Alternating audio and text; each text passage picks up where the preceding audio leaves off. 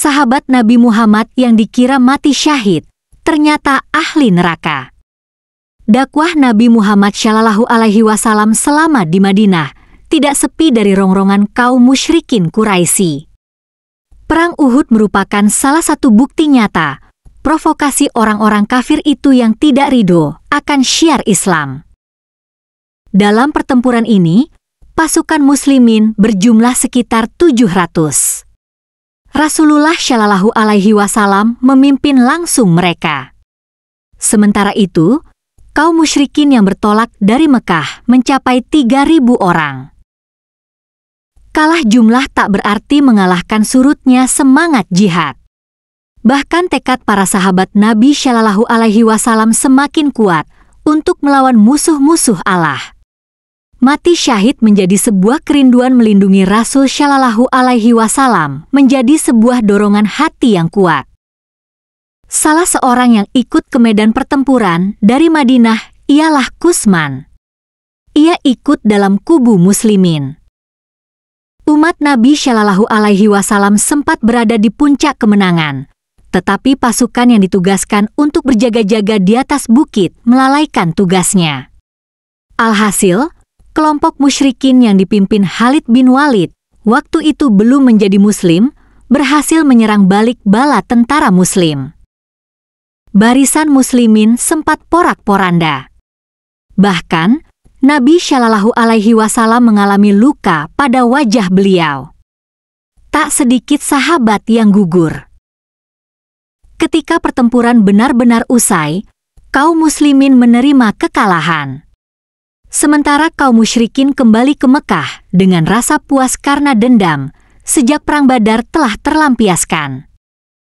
Ibnu Ishak berkata Ashim bin Umar bin Katadah bercerita kepadanya.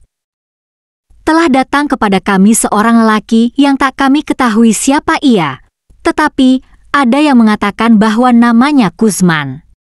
Jika nama orang ini disebut, Rasulullah Shallallahu Alaihi Wasallam bersabda, dia pasti termasuk penghuni neraka. Sewaktu meletusnya Perang Uhud, Kusman terlibat penuh membantu kaum muslimin, ia bahkan berhasil membunuh tujuh atau delapan orang musyrik karena keberaniannya memang tidak dapat diragukan. Namun, ia terluka parah sehingga berhenti bertempur dan dibawa ke perkampungan Bani Jafar. Kaum muslimin berkata kepadanya, Demi Allah, hari ini engkau telah membuktikan keberanianmu. Karena itu, bergembiralah menyambut surga. Saat lukanya kian parah, ia mengambil pedang dari selongsongnya lalu ia gunakan untuk bunuh diri. Hadis riwayat Et Habari Kusman yang terluka menjadi tidak sabar untuk segera mati karena tidak tahan dengan rasa sakit yang menimpanya. Dia pun menusukkan pedang ke dadanya hingga menembus punggungnya. Setelah itu, sahabat kembali kepada Rasulullah Shallallahu Alaihi Wasallam dan berkata, "Eh, aku bersaksi bahwa engkau adalah utusan Allah." Rasulullah Shallallahu Alaihi Wasallam bersabda, "Apa yang membuatmu berkata seperti itu?" Sahabat itu menjawab, tidak seorang pun yang dapat menandingi Kusman, sebab Kusman ditemukan telah ikut gugur dengan luka-luka yang banyak di sekujur tubuhnya. Mendengar perkataan itu, Nabi Muhammad bersabda, Sungguh, orang yang telah engkau sebutkan itu, dia benar-benar penduduk neraka. Para sahabat menjadi heran.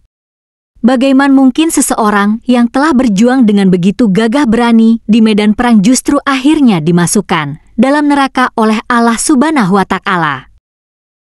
Rasulullah Shallallahu alaihi wasallam lalu menjelaskan, Semasa Kusman dan Aksam keluar dari medan perang bersama-sama, Kusman telah mengalami luka parah akibat ditikam musuh. Badannya dipenuhi darah.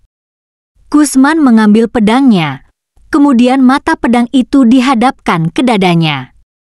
Ia benamkan pedang itu ke dadanya. Kusman ternyata mati bukan karena dibunuh musuh, melainkan bunuh diri.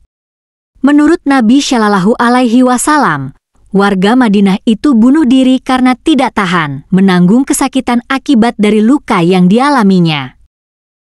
Nabi Shallallahu Alaihi Wasallam juga mengungkapkan, sebenarnya sejak awal niat yang muncul dalam hati Kusman sudah keliru. Sebab, lanjut beliau, Kusman sebelum berangkat berkata, Demi Allah aku berperang bukan karena agama, tetapi hanya sekedar menjaga kehormatan Madinah agar tidak dihancurkan kaum Quraisy. Aku berperang hanyalah untuk membela kehormatan kaumku. Maka dari itu, Rasulullah Shallallahu Alaihi Wasallam mengingatkan para sahabatnya agar berhati-hati dalam memberikan penilaian. Belum tentu perbuatan yang tampak di mata orang-orang, seperti amalan mulia benar-benar tulus, bisa jadi justru tidak baik. Sesungguhnya seseorang tampak benar-benar beramal dengan amalan penghuni surga menurut pandangan manusia, padahal ia termasuk penghuni neraka. Dan sungguh seseorang tampak beramal dengan amalan penghuni neraka menurut manusia, padahal dia termasuk penghuni surga.